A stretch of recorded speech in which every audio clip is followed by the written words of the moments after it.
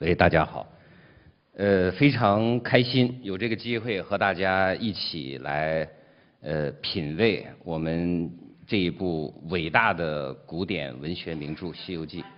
呃，这个《西游记》呢，这部作品，呃，其实我来主要的意思就是，呃，让大家推推荐这部《西游记》，好书大家读是吧？这个《西游记》呢，是绝对是一部好书，呃。北大已故的这个教授吴祖湘先生啊，非常厉害的一个人了，我非常敬仰的前辈学者。呃，曾经呃跟同事们有过这样一个讨论，就是说，如果现在不得已呃要面临着一场选择，呃要把中国所有的书都烧掉，只能留下一部，那么留下来的这部书应当是什么？大家讨论。喜欢《红楼梦》的说应该留《红楼梦》，喜欢李太白的应该说留下李太白，喜欢杜工部的希望留下杜工部。但是大家经过认真的讨论以后，觉得假如没有办法，只能留下一部的话，这部作品应该是《西游记》。啊，呃，为什么呢？因为在《西游记》当中啊，一切中国文化生长性的要素，《西游记》无不具备。就中国再没有另外这样一部书有这样大的文化含量，呃，而且呢，它的气质跟其他作品非常不一样。呃，我们说《西游记》为什么它有这样大的文化含量呢？跟它的成书方式是有关的，还有跟它的题材是有关的。那么，在中国的所有这些文化名著当中啊，呃，有一些作品是。这个一个作家单独的象壁虚构，啊，这样的作品可能达到的这个文学造诣可能也非常高，比如说像《红楼梦》，这个是没有任何问题的。它从技巧上肯定是达到了中国古代小说的巅峰，但是它在文化含量方面呢，跟《西游记》还是有很大差别的。呃，为什么会有这种差别呢？因为《西游记》这部作品啊。它不是一个人一个时间写成的，它是经历过最初的时候，它是有一个历史的原型，有一个历史作为它的核心，然后又经历过千百年的时间，逐渐在形成的。可以说，它是源于历史，然后又成于历史。源于历史这一点非常重要。呃，我们这个世界上曾经活过的人千千万万，啊，以后还要在这个世界上活的人又有万万千千，但是绝大多数的人，就跟今天大家来听课的啊，小朋友还有希望啊，呃，四五十岁的人估计已经没什么希望了，类似像我这个年龄，我们都是注定与草木同朽。你这辈子过了，大概就过了。除了你的孩子记得你，你的几个朋友记得你，没有人记得你。就像陶渊明那个是吧？这个这个这个逝者已去是吧？死去何所道？托体同山阿是吧？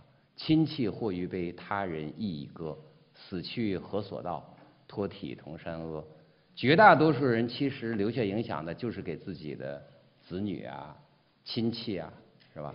呃，很多父母在自己老的时候，都渴望给自己孩子留下点念想，是吧？也就只有你的孩子还对你有那点念想，啊，这个别人其实都不太这个记得你，只有非常非常少的人，能够给这个世界留下或浅或深的一些痕迹。多少年之后，仍然还有人记得他。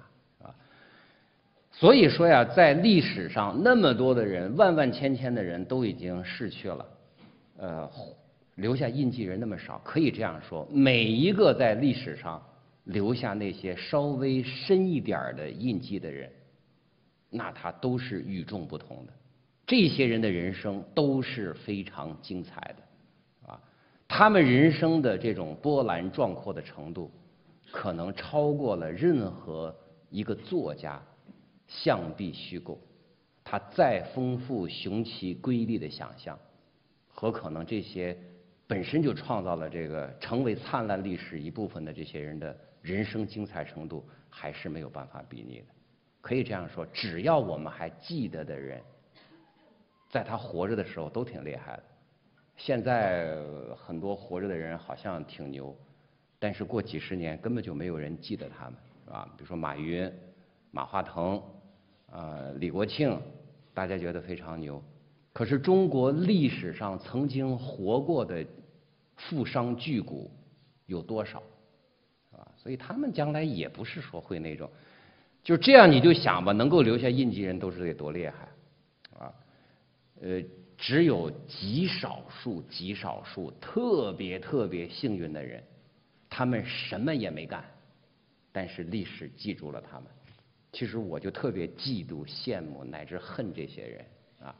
历史上这样人有没有？几乎没干什么事，大家都记住他了。有，比如说汪伦，啊，这个。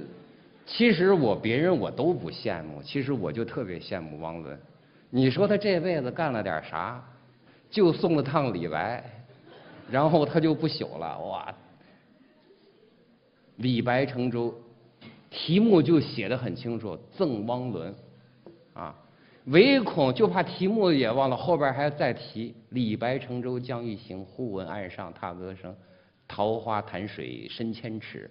不及汪伦送我情，你想想，啊，就送趟汪伦就，所以我有时候就觉得，我这辈子最大的任务就是寻找李白，啊，找到李白以后，我反复送，是吧？直到他最后给我送的他过意不去了，他给我写一首诗，啊，我就牛了，啊，呃，如果你们不是你自己不是非常牛，而且你也没有认识一个非常牛的朋友。绝大多数人都是与草木同修，但是《西游记》的应该说，因为《西游记》不是一部文学作品了，啊不不是不是一个传记文学了，呃，所以我们说传主是不合适的。但是他最初起因的这个历史的影子，玄奘法师，那乃是在整个中国历史上，应该说少有的高僧大德。啊所以，这个它本身这个这个这个历史本身的印记就足够深。玄奘法师是整个中国呃佛教史上第一个，他是最伟大的这个佛经翻译家。呃，中国历史上最伟大的佛经翻译家两个，一个是鸠摩罗什。呃，咱们今天读的那个《金刚经》那个本子最流通的本子，就是这个这个。呃，鸠摩罗什译的，啊，鸠摩罗什之后呢，然后就是玄奘法师。鸠摩罗什译的那些东西叫做旧译，玄奘法师译的那些东西叫做新译，他所翻译的那些佛经的这个呃，就是准确、精确、优美，应该说在历史上无人能及，非常厉害的啊。呃，与此同时呢，他还是中国的一个著名的呃佛教的一个流派，唯识啊，他是唯识宗的这个呃开山之人，后面还有他的一些弟子窥基啊什么的这些，呃，共同呃完善了这样一个学派啊。我们今天不太对那个唯识宗不太了解的原因是什么呢？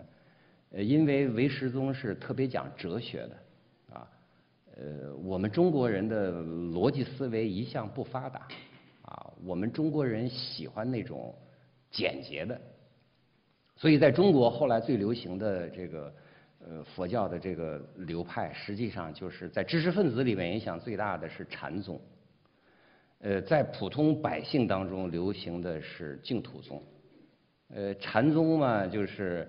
你还需要悟一悟啊，需要什么？它跟诗歌呀，跟这个什么可相通。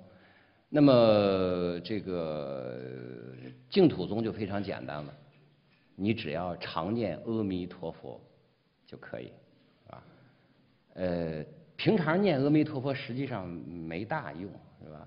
念阿弥陀佛最管用的是你临死那一下啊，临终一念，如果你马上断气儿了，念的想的都是阿弥陀佛，哎，好就断气儿了。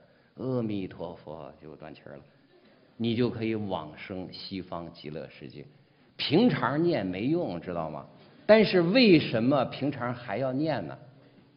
你要练习啊，呃，这个很难了。我们就跟平常一样，你平常参加模拟考试，什么一模、二模，你考了全年级第一名、全市第一名，有用吗？没用，最后是高考那一锤子。啊，那是一锤子买卖。高考考好了就管用，平常考的再好都不计入那个成绩的。但是为什么平常模拟考试什么的，家长学生都还很重视呢？因为练习。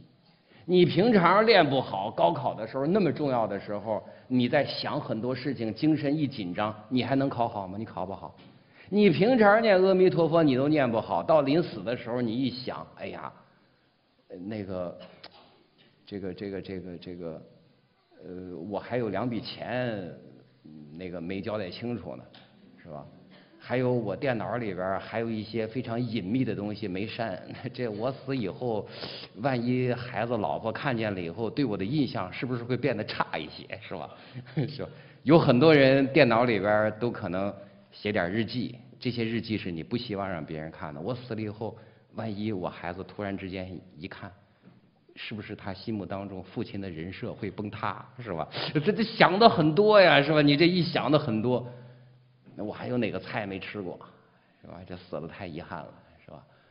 哎呀，这个这个这个，这些东西纠缠着你，你这个死的时候，你哪还一心念阿弥陀佛呀？是吧？所以平常练好，死那一下，阿弥陀佛可以。啊他他是，所以念净土还是修禅都是方便法门。中国人喜欢的是方便法门，啊，但是呢，那个这个唯识宗是讲哲学的，啊，所以呢，中国人逻辑思维呢不够发达，啊，呃，所以呢，这个呃会比较比较麻烦。呃，除了这个以外呢，玄奘法师还是整个中国历史上出现的最伟大的留学生，呃，这个因为下面有小朋友，啊，呃，这个小朋友要稍微稍微控制一下自己，呃，我，呃，小朋友有个特点，小朋友的特点就是在四十五分钟之中，他的精神只能注意十五分钟左右。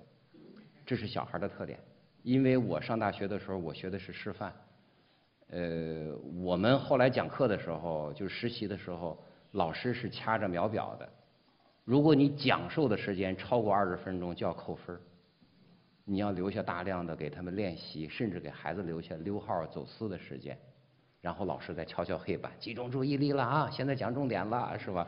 需要这样。但是今天我们可能。如果我老是敲黑板，注意了啊，大人可能就会觉得烦，所以，哎，家长稍微控制住自己的孩子，他要再说话，你就捂住他的嘴，不要说，啊，好了，我们来接着说，呃，现在是这个，我们说他还是著名的这个，呃，著名的，呃，这个最著名的留学生，玄奘法师到印度去以后啊，没过多长时间。就经常代表他所在的那个寺庙那烂陀寺，出去跟全国各地的这些向纳兰陀寺挑战的这些人，对他们和他们一起进行辩论。呃，印度是一个特别注重这个辩论的这样的一个地方。你如果在一次辩论大赛上表现非常好，你一下子就会变得非常出名。啊，有点像我们前些年流行那个什么大专辩论赛，有点这个意思。呃，过去的时候啊，就是印度就是特别注重，实际上对语言的重视，实际上是实质上是对思想的重视，认为思想上战胜你是特别重要的。过去古代印度人这个在辩论的时候，经常要有赌注的，赌得很厉害啊。如果我败给你，我这辈子给你终生当奴隶，这是一种。我如果败给你，再狠一点的，我割舌相谢。我这条舌头辩论不过你，我的舌头不争气，我把我舌头拉下来送给你，啊，这是。还有的就是斩首相谢，我辩论不过你，我的本事不如人，我把脑袋拉下来，我送给你，啊，呃，印度过去的时候辩论经常这样，这些人都都比较狠，啊，呃，一个外道啊，一个是对着自己的这个信仰非常坚定。另外一个也希望出名、扬名立万。扬名立万的最好的、最简单的方式是什么？就是向权威挑战。啊，如果向权威挑战，我这一次赢了你，我这个名声马上就起来了。现在也是这样啊。你如何一下子扬名武林呢？我告诉你，最简单的方法就是向那个少林寺、向那个武当山挑战。然后你把难题就抛给了他们，你赢了，你当然很牛了，我立刻就厉害。你败了，你也不丢人呢，因为我向少林寺挑战，少林寺赢了我是应该的，武当山赢了我是应该的。但是你就把难题抛给了他们，他们败给你当然特别丢人，但是就算他们赢了你，其实他们也光荣不到哪儿去，因为大家觉得他该赢。除非非常潇洒的赢了对方，大家才觉得哇，不愧是少林寺武当山。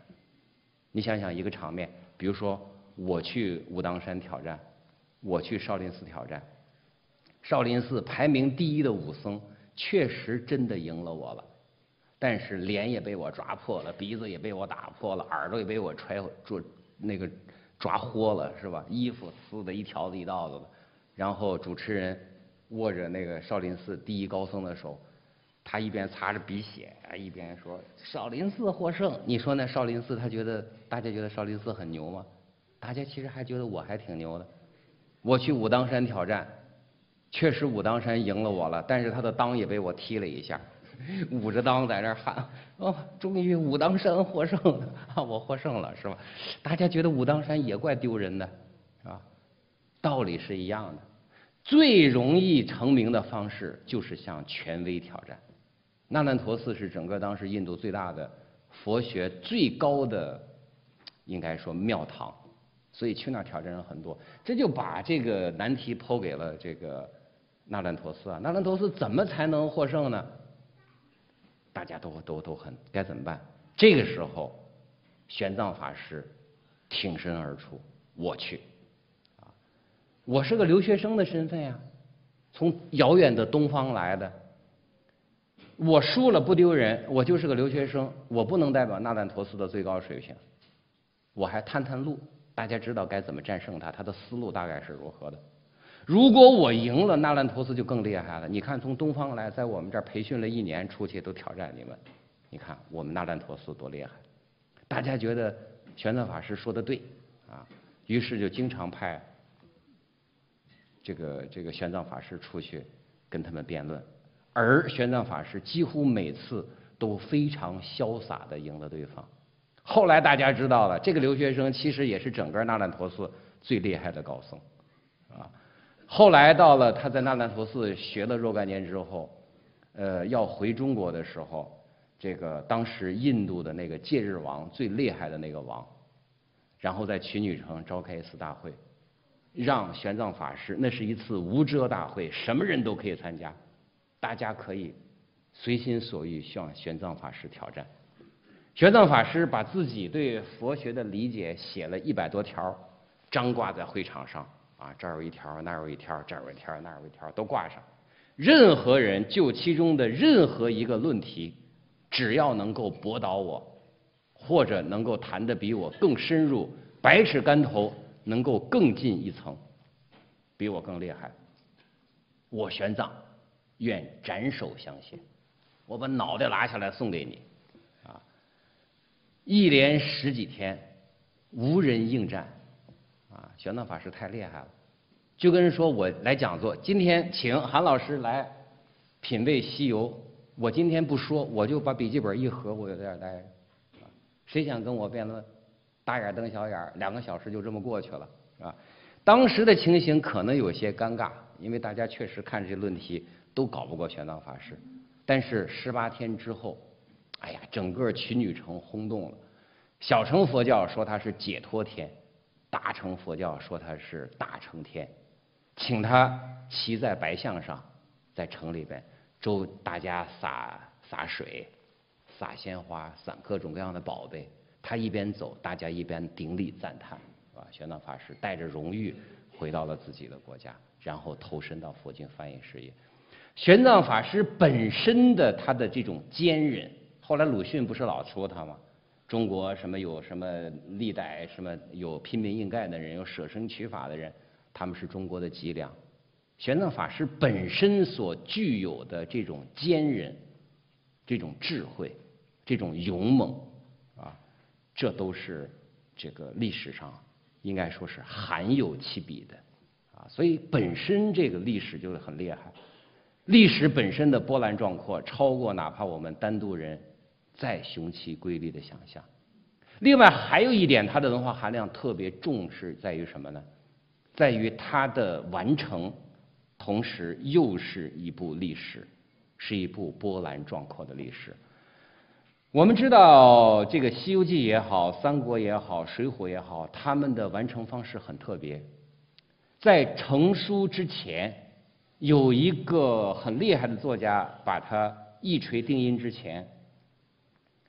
他经过了很多年，呃，说书艺人，在书场上对他的讲说，啊，应该说他从一个历史的故事，真实的历史故事，到最后成为一部小说，是经历了很长时间的。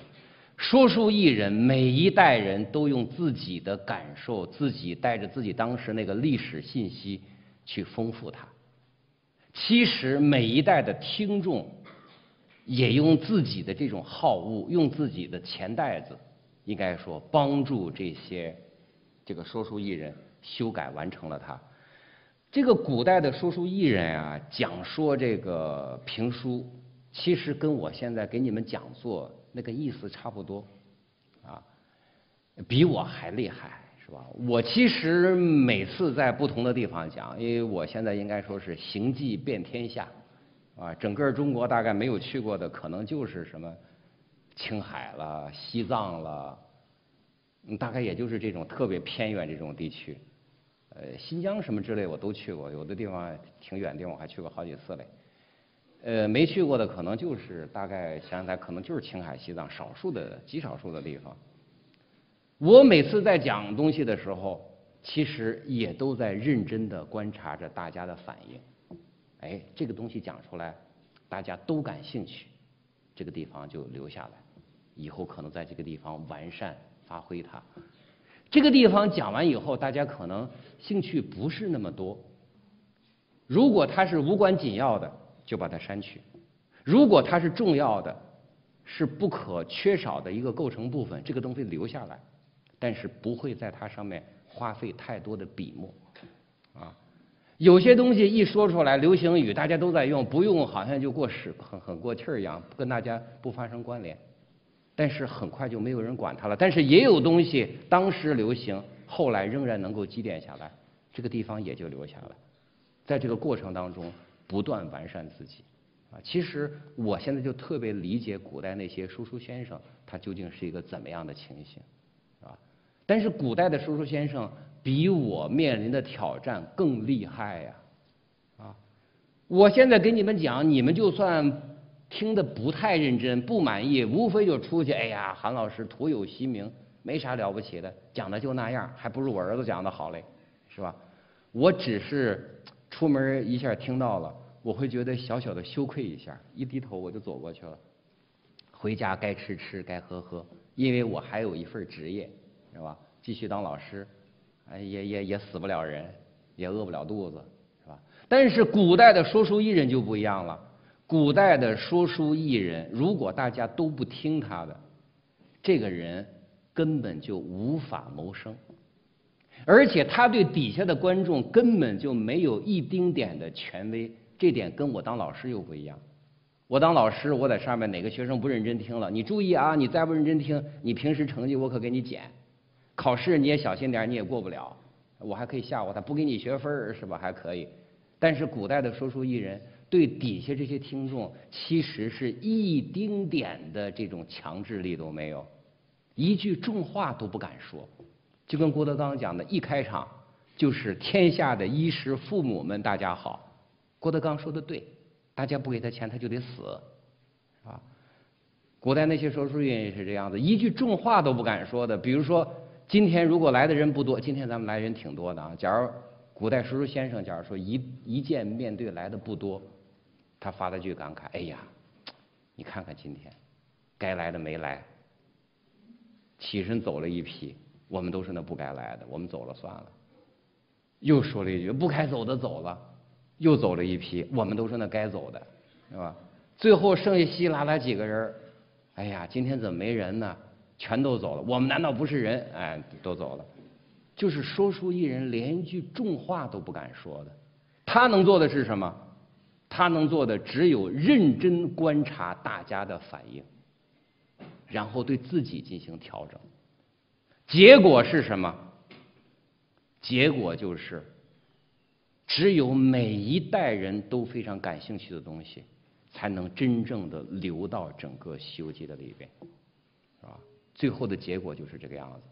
所以说，《西游记》凝聚的不仅仅是就是说这个说书先生，其实一代一代的中国人都用他们的情感，用他们的好恶。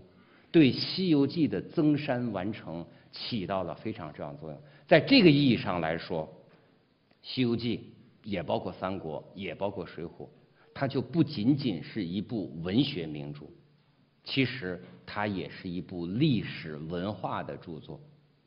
因为我们大家都对它感兴趣，所以在某个某种程度上，它应该说，甚至讲是我们中国人的民族性格之书。说起来都一点不过分，啊，所以三国哦，水浒、西游，它具有其他文学名著所不可取代的这种文化的含量，啊，所以呢，在整个中国古代这些文学名著当中，呃，这几部作品是要单独拈出来的，呃，当然这个它还有一个很重要的，最后给它加工完成的这个一锤定音。的这个人也很重要，呃，有些东西流传了很长时间，呃，也很有文化含量，但是缺乏一个这种一锤定音的这种大才之人，所以这些东西自始至终还是一种不完善的方式流传的。那比如说我在那个中央四台的那个文明之旅也讲过那个东游记，就是八仙过海。八仙过海其实它历史上积淀的东西也非常多，但是。那个作家不具备像，比如说像吴承恩、像罗贯中、像施耐庵这种大才，他不能够一锤定音。一锤定音这个词儿呢，是来自于中国古代的一个工艺，就是造锣的工艺。我们知道这个锣，知道吧？嘡一敲就是那种当当当当当当，能够发出很灿烂的那种音色的那种东西。这锣的这个发明者是我们中国人，这个最好的锣也是我们中国人做的。呃，全世界的交响乐团都以拥有一面中国打造的锣为骄傲。如果你这锣不是中国人拿手工打的，这个这个交响乐团这个水准可能不高。做锣是怎么做的呢？做锣都是这个样子，反复的锻打，反复的折叠，反复的锻打。啊，一开始可能弄成个形状，现在都都现在都比较简单了，直接就铸一个，然后再敲打。古代的时候就是一个大铜疙瘩打的，打折过来折过去。最后打成锣的形状，啊，敲敲敲敲敲敲，但是最后一关怎么办？敲到最后的时候，徒弟们都不敢敲了，啊，最后把这个锣形状已经成了，打的也差不多了，交给师傅。师傅凭着自己一辈子的经验，啊，点上根烟抽着，掂量这个锣，啊，看看哪儿重哪儿轻，整个，然后放好，猛吸两口，把烟掐灭。啊拿起锤子，在最应该敲打这个部门，嘡就来这么一锤子。这个锣的音高、音低、音色的好坏，几乎就取决于最后这一锤子，是吧？这叫一锤定音。其实对于呃西游也好，对于三国也好，对于水浒也好，就是最后他们能在比如说罗贯中吴承恩、施耐庵这种人大师的手里一锤定音也很重要。比如说像八仙过海故事，他最后没有这样一个大才给他来这最后这一锤子，啊，所以他终究缺乏一个名著的这种水准，啊，但是非常幸运的，西游他有吴承恩这样一个大才，然后给他一锤子算定了音了，然后他就非常灿烂，回响千年，啊，呃，没千年几百年是吧？因为那是明代的时候最后写成的，回响数百年。但是我觉得以后他还会继续灿烂的。所以回想几千年，我觉得应该是没有太大问题的。好了，这是我们先说这个《西游记》，它拥有这么多的文化含量，所以当然值得一读。那么我们今天从哪个角度来切入《西游记》呢？是吧？我刚才其实讲它文化含量，文化含量很多，我们可以理解《西游记》的角度也很多呀，是吧？但是我今天就是更愿意跟大家说的是，从《西游记》当中看。我们的这种境界人生，因为我还是觉得喜欢给大家一点从《西游记》当中读出一些人生的这种启发和意味，是吧？呃，这个一个人呢，一生下来，我们其实对自己都是有所希望、有所要求的。回想你的少年时代，或者你的青年时代。当你还是一个少女，当你还是一个少男的时候，你是不是朦朦胧胧的，都觉得自己一生应该干一件大事呢？啊，这样的话，这一生才不算白过。其实我刚才在讲到这个这个绝大多数人将来都会与草木同朽的时候，我其实看到很多人脸上，就是我我在底下，因为我坐站的比较高，我其实能够看到你们的表情啊。很多人其实。还是脸上小小的有一丝落寞，这辈子就这么过去了吗？是吧？还都是有点，我们可能也无可奈何，啊！但是小孩儿他会，他有希望，啊！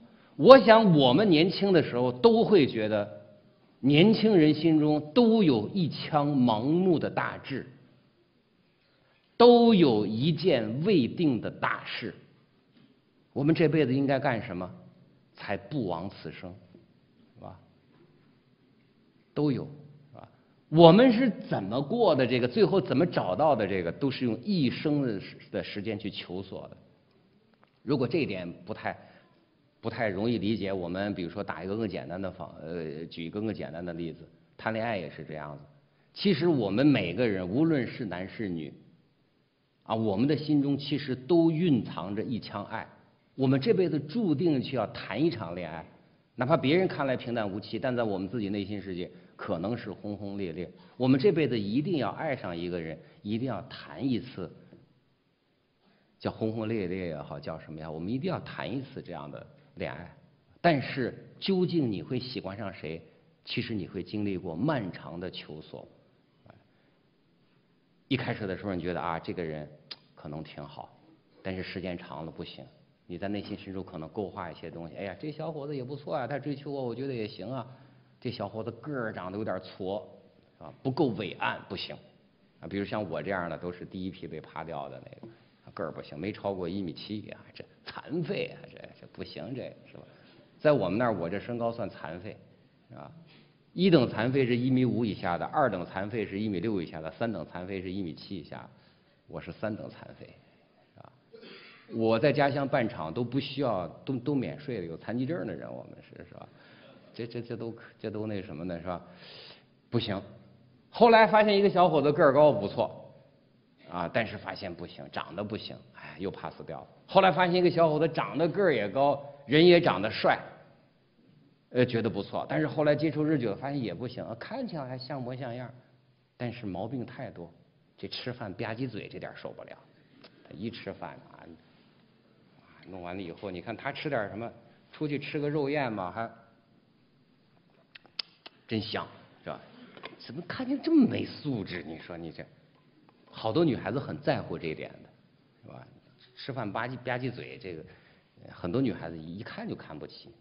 为什么吹了？我给别人介绍为什么吹了？小伙子不错呀，是吧？他吃饭吧唧嘴，我看着难受，是吧？吹了。我给别人介绍，我觉得小伙子非常棒。我说你你能不能改一改，是吧？我妈就这么教的。吃好吃的东西，我妈还说吧唧的越响，表明吃的越香啊，是吧？我从小就这样，能不能改一改，是吧？好，这是这个什么哈？呃，这个吃饭吧唧嘴，喝水拍大腿，啊，一喝，哎呀，咕咚咕咚一喝下去，哇，哇，真解渴呀！给我来这个是吧？也不行，这个是吧？就给吹了。最后发现一个人谈恋爱的时候，最后觉得哇，这个人。非常棒。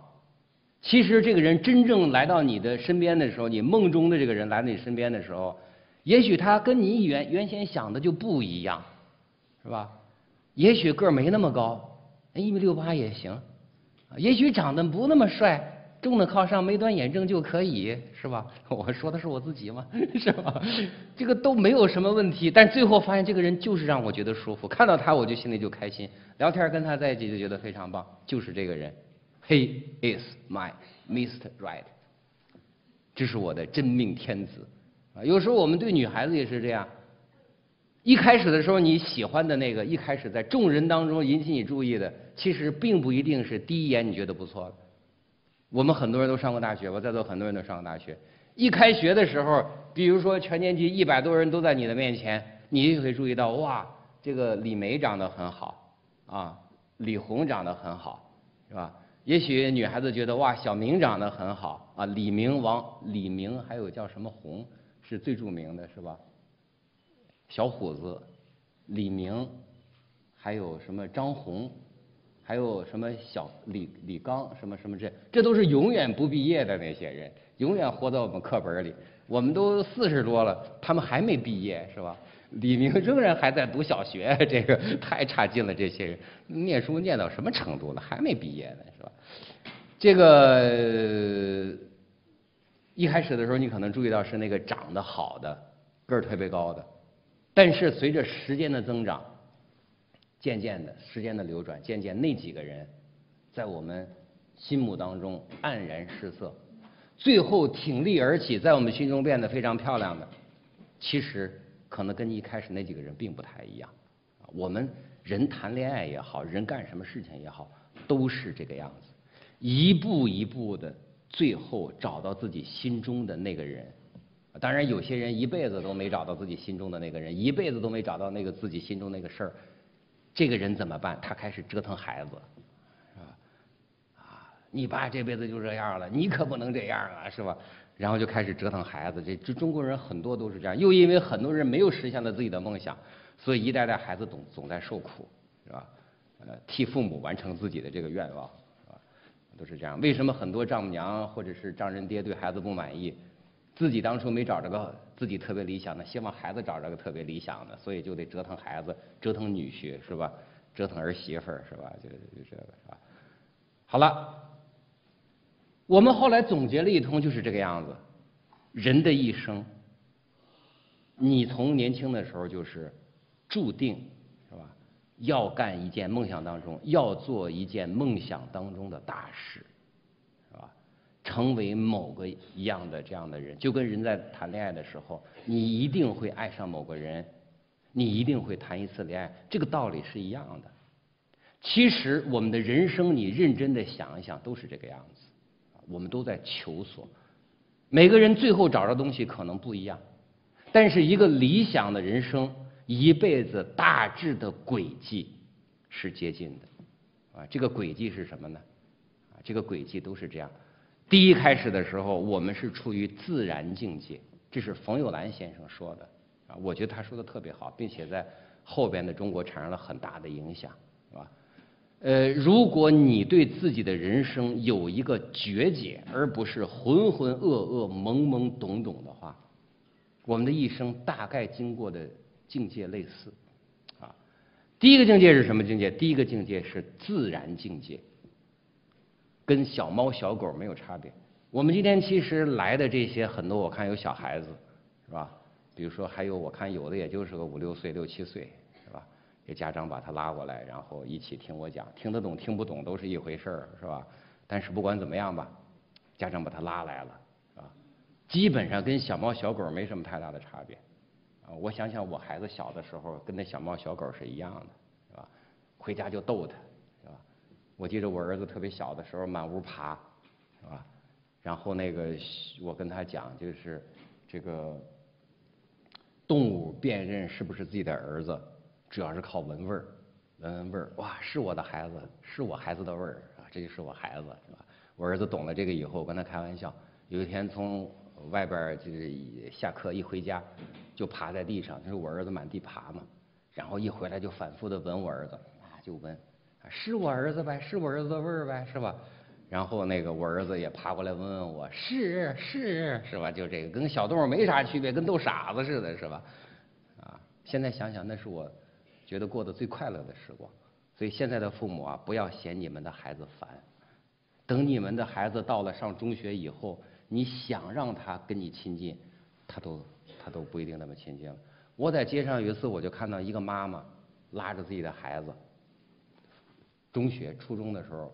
放学嘛，孩子去接，家长去接孩子，拉着孩子的手，是吧？然后孩子就一个劲儿甩，是吧？这个这个？这好像那个让孩子觉得很难为情似的，妈妈拉着，我又不跑，你拉我干什么呀？是吧？这觉得很难为情，都是这样子，是吧？小的时候是这个阶段，什么时候开始就进入了功利阶段？自然境界的最标准的特点是无我。他还没有太能把自己和环境区分开，特别是还没有把自己将来要干什么跟其他的那群人区别开，没有那种区别心，是吧？那个叫自然境界。最小的孩子，他其实没有办法把自己跟别人区别开。你看小孩说话有个特点，都是自称宝宝，宝宝饿，他小时候小名叫宝宝，是吧？宝宝是中国大概有三分之一孩子的共同的名字。是吧？女孩叫贝贝，男孩叫宝宝，是吧？大概就是这样。说那个饿吗？说宝宝饿不饿？其实问的是自己。哦，咱们成年人说我饿了，他会这样说：我想吃东西，我不喜欢什么什么。小孩会说宝宝饿，宝宝不喜欢，宝宝不吃，宝宝什么之类的，他都自称宝宝，因为他没有把自己和其他的人区别开来，啊，所以他自称这个。那稍微大一点他仍然还是无我，是什么呢？他没有区别心。小孩不会区别自己的衣服比比别人贵多少，不会区别这个什么，不没有这种区别。他只是凭自己的爱好去判断一个东西，其他人的判断对他没有太大的意义。小孩会拿自己四块钱的玩具，如果他觉得自己四块钱的玩具没有那个。自己四百块钱的玩具没有人家那个四块钱的玩具好，他会拿自己四百块钱的玩具跟人家四块钱的玩具换，我看过一个就跟笑话似的那个什么，就是说说孩子，你那变形金刚四百块，他那个塑料那个玩意儿才四块钱，你傻呀？你拿四块钱的跟他那个四百的，你拿四百的去跟那四块的换，你为什么会这么干呢？小孩回答很简单，他那种我没玩过，是吧？就这一条，四百就可以跟那，所以好多小孩完成的交易，在家长看起来就跟傻子一样，是吧？我弟小时候就是这个样子，是吧？那个时候我就是我爸有一些邮票，有的是从海外的，有的是从港台的寄过来，其实挺好的那个邮票就留下来。结果我们院里一个比他大的孩子，那个小孩比较聪比较精明，拿一只蛐蛐就全换了。啊那蛐蛐长得个头比较大一点应该看起来比较厉害。我儿子不是我儿子，我弟就喜欢他那个，好吧？你跟我换，你有什么好东西可以跟我换？啊，我儿子搞了搞，看来看去家里边没啥别的东西。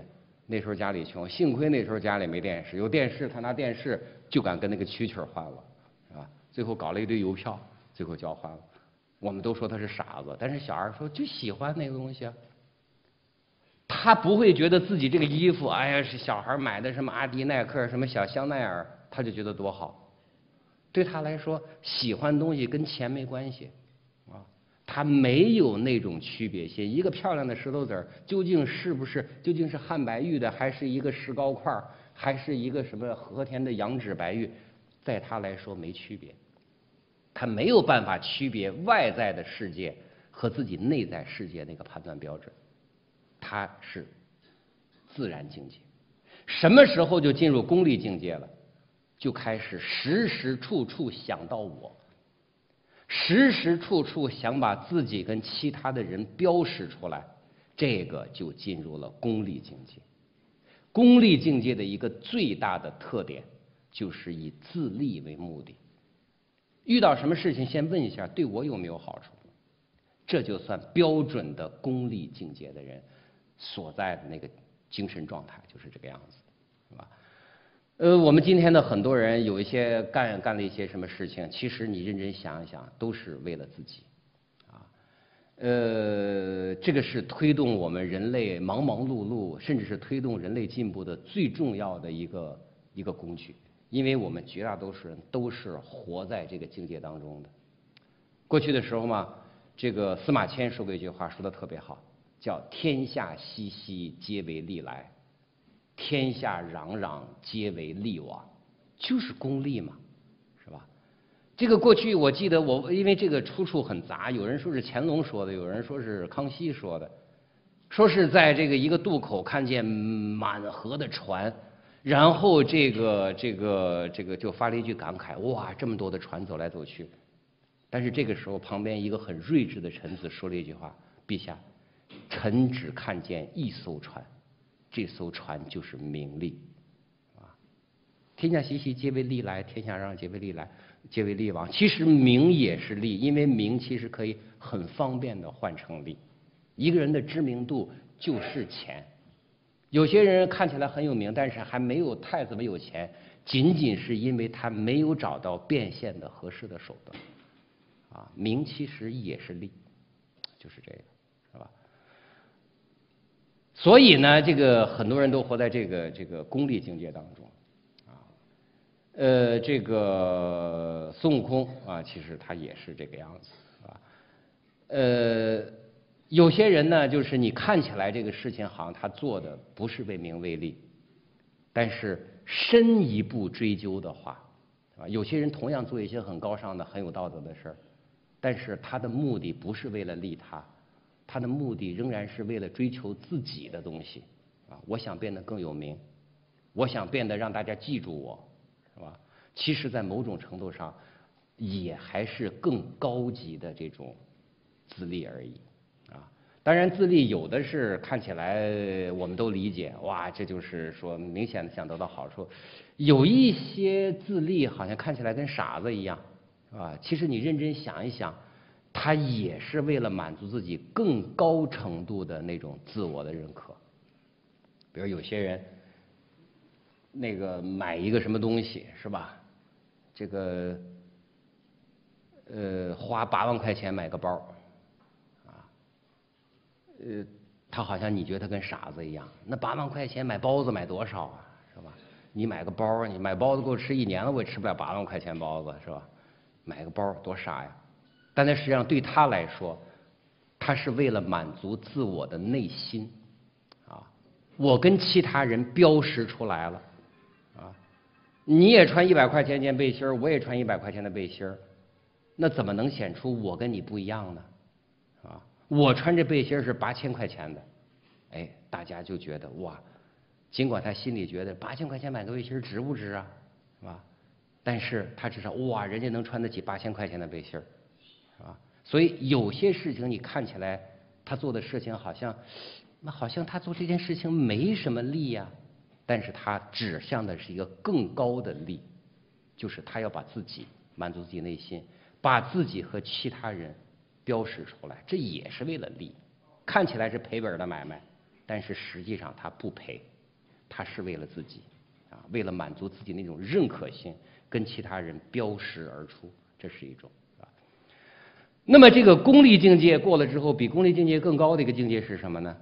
比功利境界更高的是道德境界，啊，道德境界的人，哎，我干脆我写一下吧。特别准备了白板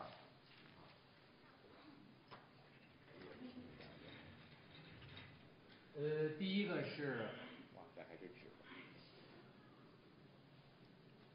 呃，第一个，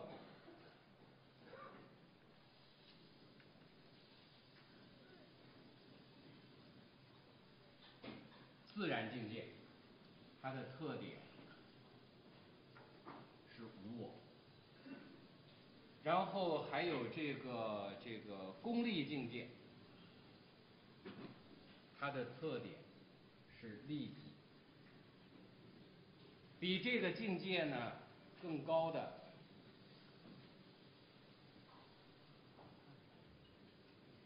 道德境界，这个最大的特点是利他。最高的呢，最高的乃是天地境界。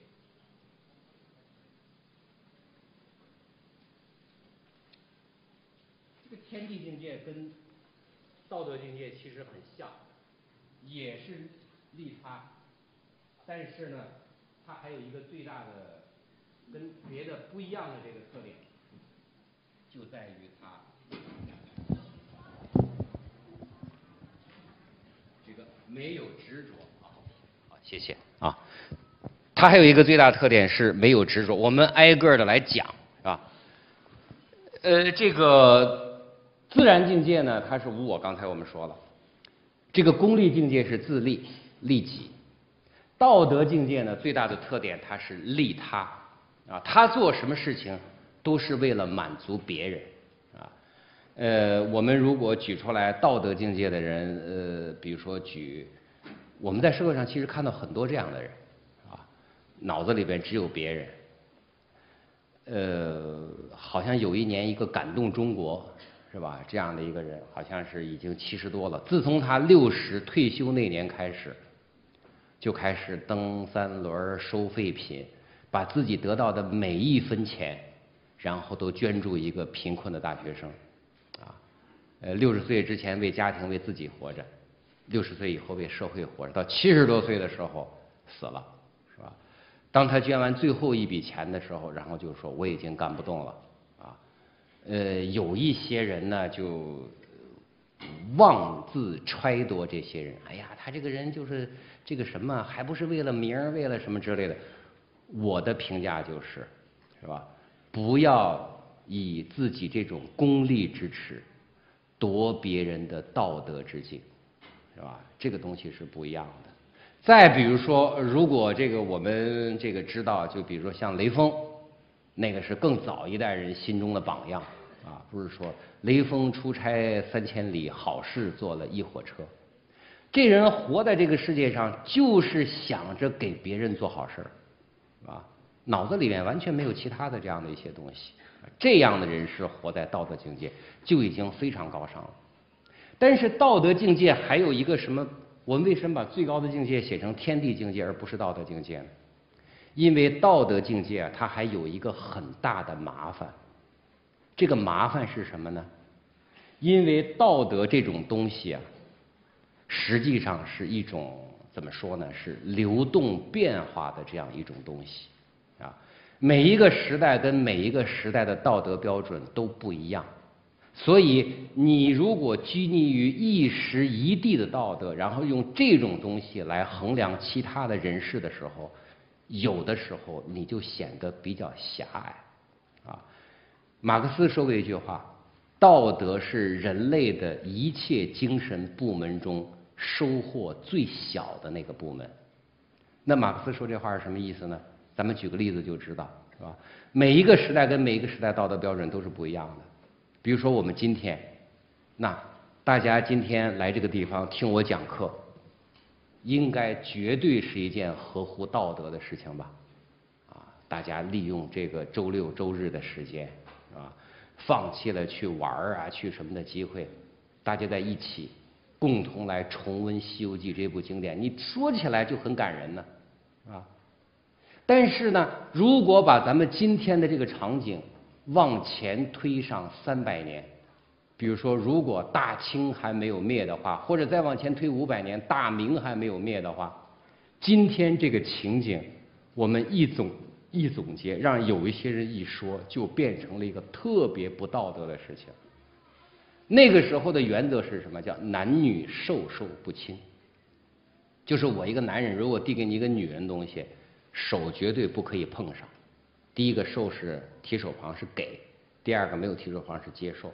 比如说我给你，我给你的话手是不能够挨着的。哎，这个杯子给你，我要先放在桌子上。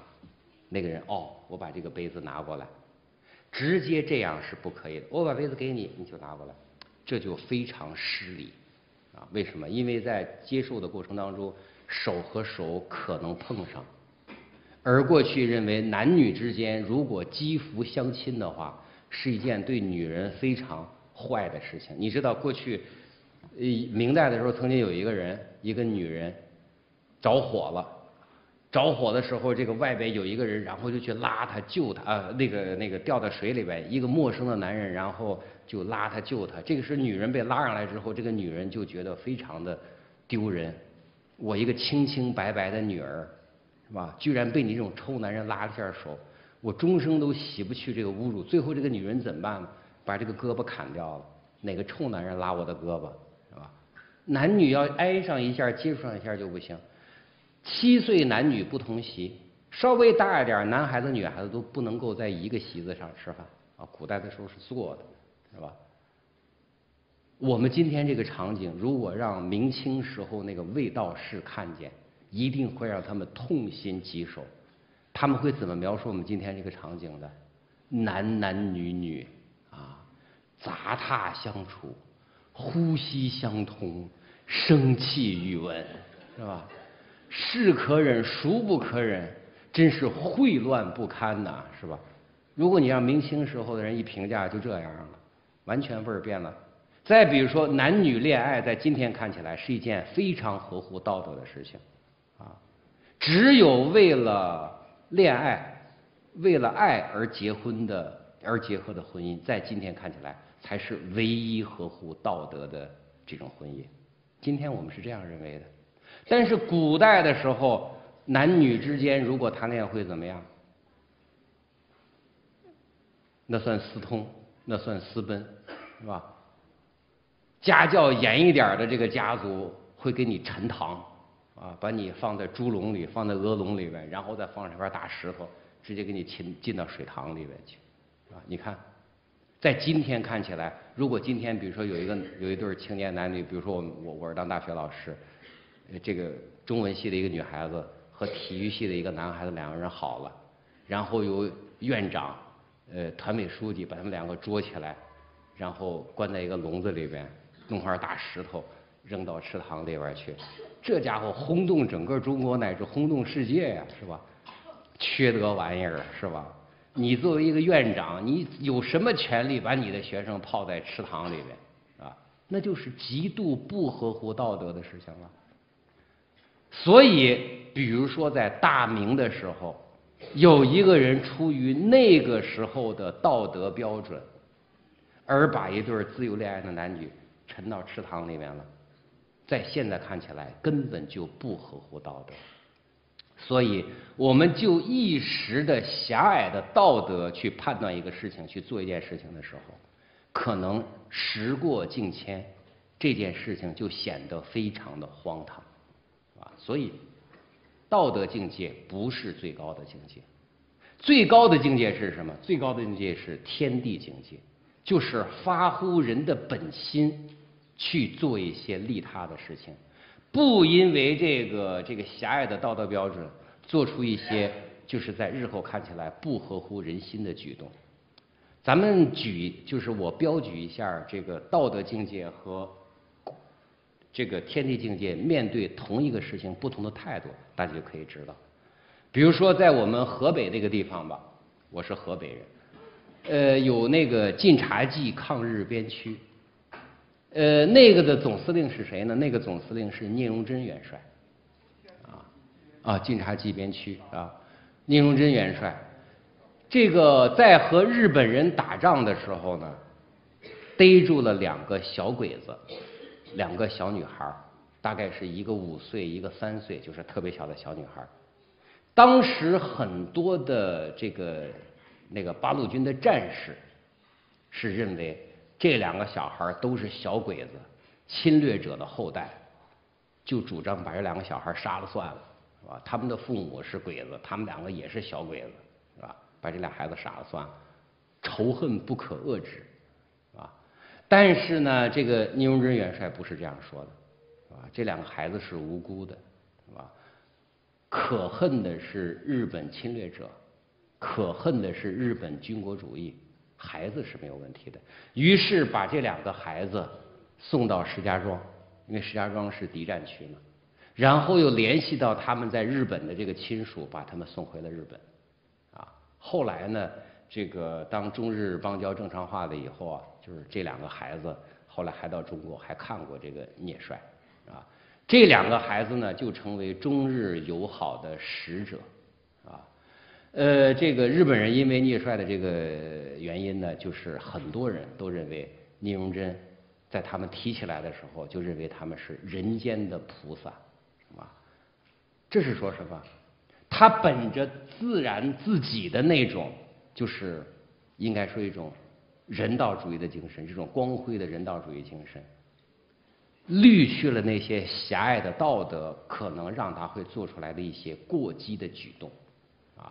现在看起来，聂帅的这个行为是一直会放射出这种人性的光辉的。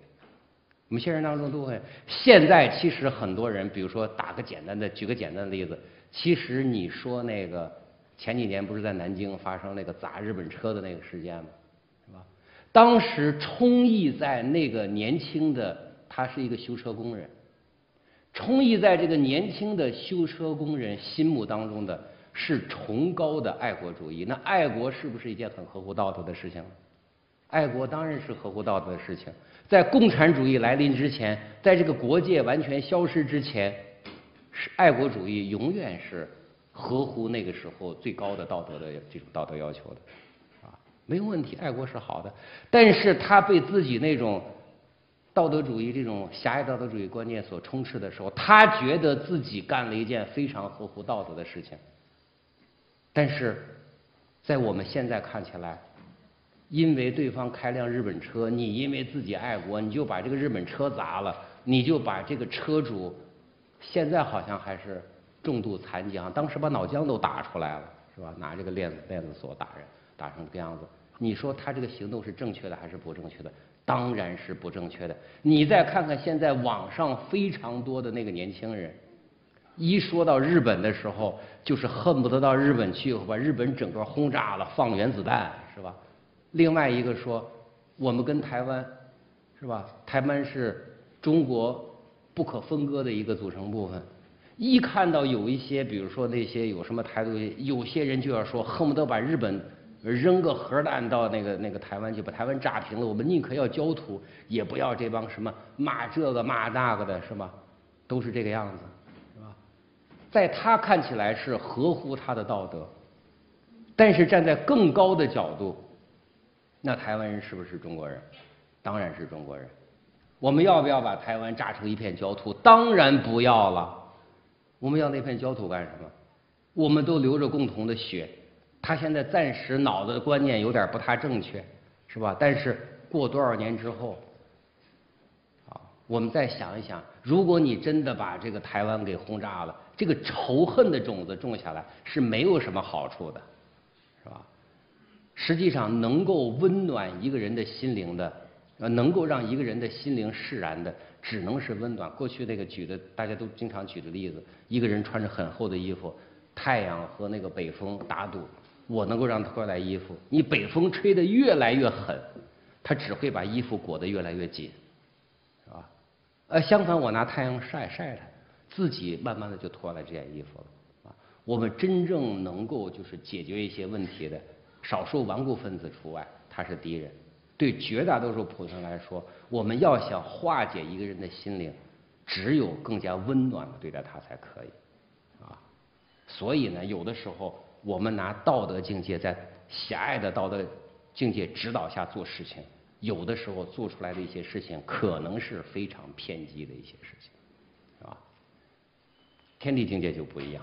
是吧当你本着人与人之间的那种善念，啊，当你本着那种高尚的人道主义精神去做事的时候，啊，他就会合乎这种道德的这种要求，啊，或者在更长远的看起来，啊，我们说人大概是这个样子的，一个一般来说一个理想的过完的一生的人，是吧？一个应该说比较成功的人，这一生当中他的轨迹大概是这样过的。其实拿我们这个东西来看《西游记》的话，《西游记》里边的很多人，其实都是完美的经历过这样的人生轨迹。《西游记》里边，当然把这个境界、把这个轨迹体现的特别好的是谁呢？体现的特别好的就是孙悟空，啊，孙悟空一直是在一个追求自我价值、追求自我实现的这样一个人，啊，而且他一生的阶段都叫了不同的名字。其实我们认真的想一想，他这些名字其实都是和他的人生阶段、人生境界、人生阶段互相对应的。像这个自然境界的时候，悟空叫什么？悟空叫天产石猴，他的名字非常简单，就是石猴，没名字，啊，啊，我我就用这个，就用这个，就是标出来的后面补充，他就叫石猴，没别的名字，啊，呃，饿了就摘果子吃，渴了就饮山泉水，不知日月，是吧？就这样过，自然境界。什么时候就到了功利境界了？啊，是那个几声呼唤。呃，大家如果念过中学课本、初中课本，不就还写了这一回吗？大家没事干，夏天玩呃，就是看见这股这个水，大家就说今天反正也没事我们找个源头出来，到那个地方去，然后就看见水帘洞下面就开始往下流水。众多小猴反正闲着也没事有谁有本事进去探个源头出来不伤身体者，我等拜他为王。一连说了三声，没有其他小猴答应。就在这个时候，孙悟空挺身而出，一连喊了一声：“我去！”是吧？然后怎么办？然后就去了。一闭眼啊，往那个水里、水洞里一跳，发现没有水，一个豁然开朗的全新的天地，那就是那个水帘洞。后来就就出来，出来以后。名字就变了，啊，名字他就变了。功利境界的时候，孙悟空就不叫石猴了，他有好多名字，是吧？有美猴王，是他的名字吧？啊，还有孙悟空，正式有了学名，孙悟空。后来，呃，这个由呃美猴王孙悟空，后来又变了。曾经到天上短暂的当了一阵弼马温，嗯，当然这个名字是孙悟空一直感到特别丢人的一个名字，不能跟他提，一提就急眼，是吧？为什么孙悟空提？为什么一提弼马温，孙悟空就觉得特别丢人呢？因为这个名儿确实不好。呃，大家知道什么叫弼马温吧？弼马温实际上是这几个字的谐音。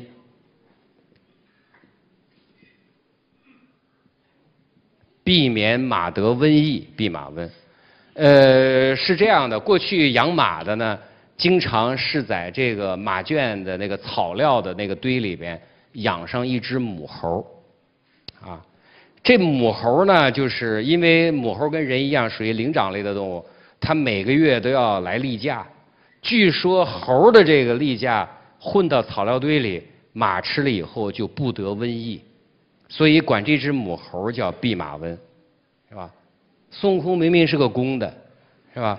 然后给他起这么个名字，所以孙悟空一想这名字就觉得丢人。呃，你看这个猪八戒要骂孙悟空，孙悟空一捉弄他，老叫呆子、笨蛋、笨货。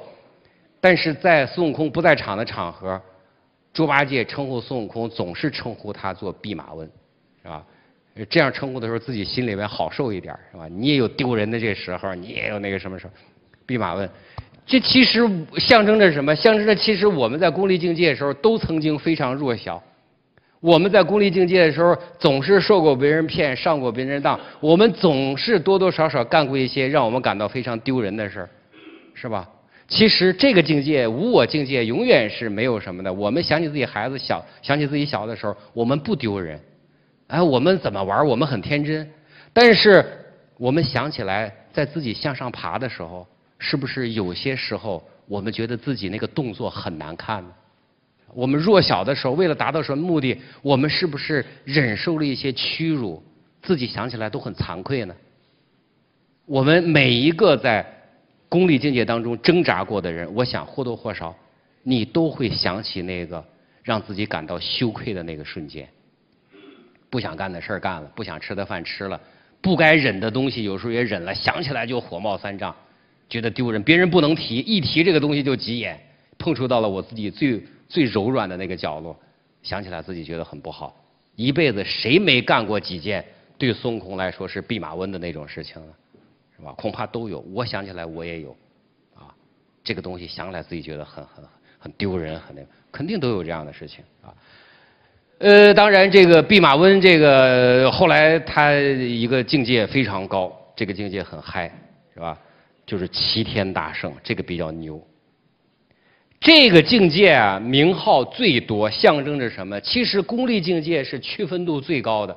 我们想想自己从小不是王科长啊，王王股长、王科长啊，王处长、王厅长啊，王部长、王省长、王主席啊，大概都是这样。这个境界的时候啊，功利境界的时候，称号最繁多。我们一生当中绝大部分都在这个。都在这个阶段里边，但是这个境界并不是最高的境界啊。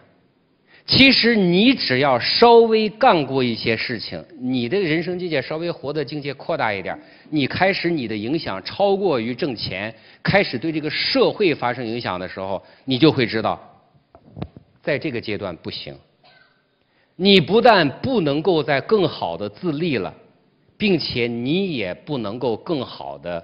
就是说，团结其他的人了，啊，呃，现在很多人这个就是境界还比较低的时候，比如说看马云、马化腾他们讲一些话，你都觉得跟骗人一样，是吧？哎呀，马云就开始讲，对我来说，一个月挣挣上那么几个亿是件挺痛苦的事情，是吧？大家觉得装，是吧？你别说你挣几个，你给我几百万我都高兴的不行，挣几个亿怎么就痛苦了？啊，实际上这个说的，我其实后来嘛，就是。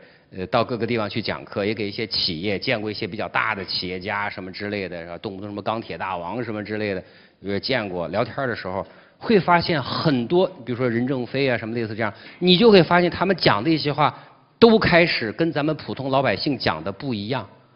咱们普通老百姓，哎呀，我哪天挣点钱，你是怎么样赚什么钱？你会发现，其实很多大企业家开始讲什么，都开始讲给社会做贡献，讲促进就业率。讲什么什么为中国争光，讲什么什么这个责任，讲什么，他是骗你们吗？真的，你到了一定境界之后，你会发现真的不是骗你。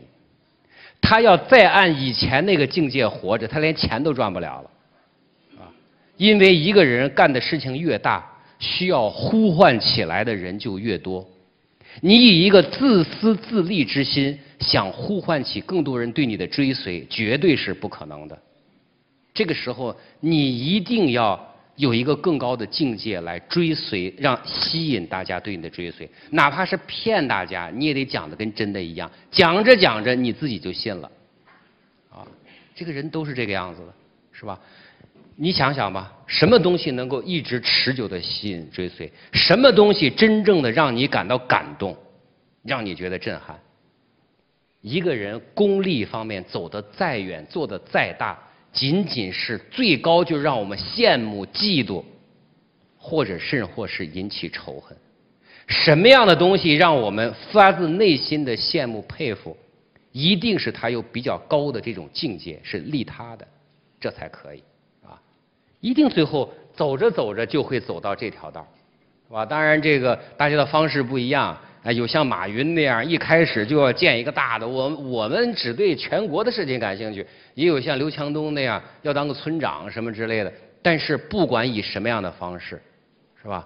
你听这些人讲，讲着讲着，他都不再讲赚多少钱了，啊，一个确实是当你活到一定境界的时候，这个钱对你来说就没那么重要，你不缺钱了嘛，是吧？另外一个，其实我们挣钱是为了什么？其实就是你的身体就这点儿嘛，就是为了享乐嘛，就这点享乐其实都是有限度的。人的这个这个食欲也好，色欲也好，什么之类的东西，都有个特点，叫做什么呢？叫做没有深度。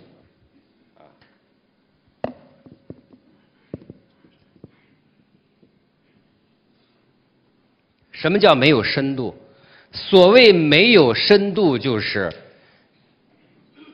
很快就满足了，啊，比如说吃饭，吃肉，我觉得昨天晚上我去到那个晚上，我吃那个鱼丸，吃那个肉宴，是吧？哎，我觉得肉宴这名字起的好浪漫。我们那个地方叫馄饨，是吧？听起来就土，是吧？肉宴，哎呀，太棒了，是吧？好像飞到锅里的那种感觉，是吧？就觉得很浪漫那个名字。我第一口觉得特别好吃，第二口觉得特别好吃。等我吃完一盒，再要第二盒的时候，在第二层的时候，我就吃不下了，啊，那个第二碗我就没吃完，我觉得味道也不像第一碗那么好吃了，是吧？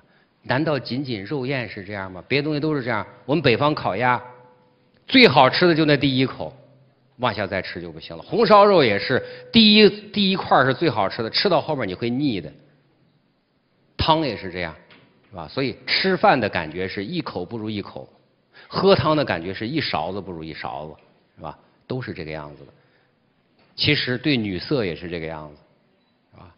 你能持久的那什么，最最后你阅尽满眼花，最后你就会感到没什么意思，是吧？当然，绝大多数人都没有没有体验过，所以他会觉得哇，好有吸引力，见着别人。其实你阅尽繁华之后，你觉得没意思。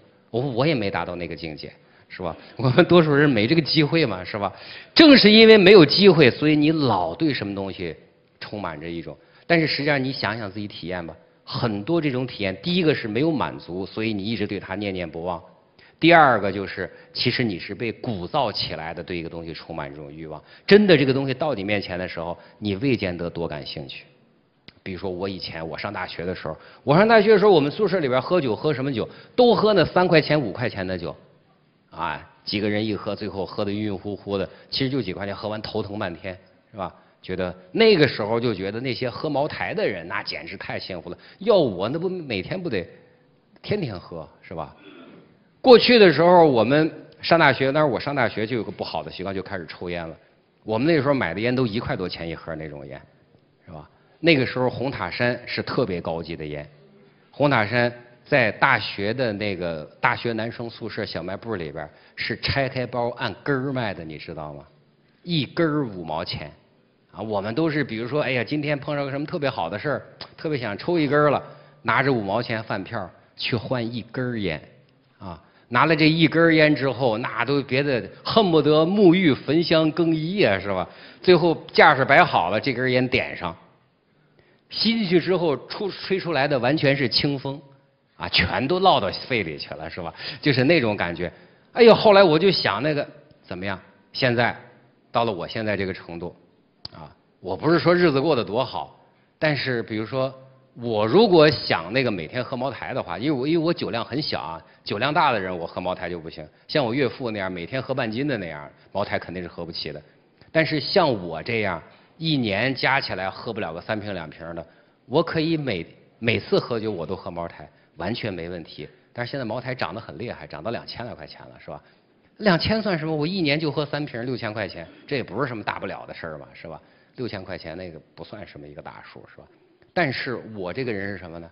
后来比如说外边去喝酒啊什么的，经常是酒席上是喝茅台、五粮液这样的酒，喝到二两之后，谁给我再倒酒，我也死活不喝了，别再给我喝了，再喝下去不行了，是吧？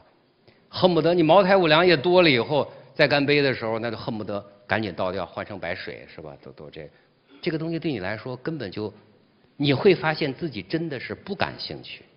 烟其实抽的再多了，你感觉哎，那个五十块钱、一百块钱一包的烟，其实也也感觉到，就离了这玩意儿不行。抽的时候真没觉得多快活，点上两根哎呀，这玩意儿对身体有害，你还得把它掐了，是吧？但是不冒着吧，又好像不行，是吧？也就是这个样子。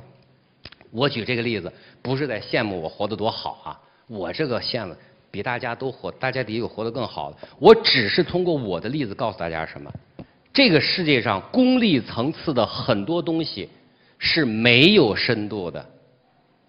一旦满足之后，它根本就不能够给你带来持久的快乐，不能让你真的感到人生价值的这种实现感，没有这个。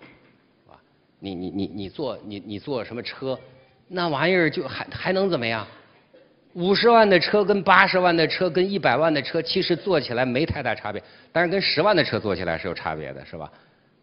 其实到三五十万坐着舒服程度，那比底下不就是一块一块皮子包个海绵嘛，是不？也就是这玩意儿嘛。你再舒坦，你能有被窝舒服，是吧？那不可能的，是吧？所以其实身体的享受终究是有限度的。我们到最后的时候，一定会走到，只要你人生是按正常、真正的是上台阶的这种方法，一定会到这个境界，道德境界，利他。利他境界其实也是从这个境界到这个境界是最难完成的，这个过程应该说是充满了艰难险阻。